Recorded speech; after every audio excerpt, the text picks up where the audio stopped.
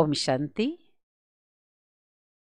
मुरली में कहावत आती है, गई टांडे पर खुद मालिक बन बैठी।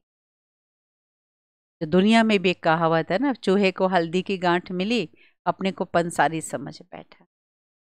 तो कई बार ऐसा होता है, आए हैं हम स्व परिवर्तन के लिए। लेकिन स्व परिवर्तन करने की अपेक्षा कई बार दूसरों के परिवर्तन का हम इंतज़ार करते हैं।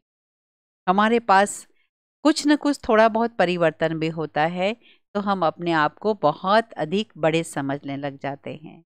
लेकिन परिवर्तन का बाबा ने लक्ष्य कितना बड़ा दिया है।